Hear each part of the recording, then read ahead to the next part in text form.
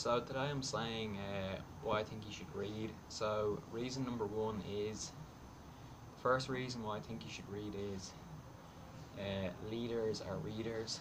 That's saying. And then the second reason I think you should read is I found like this great saying, or this great quote once when I was reading.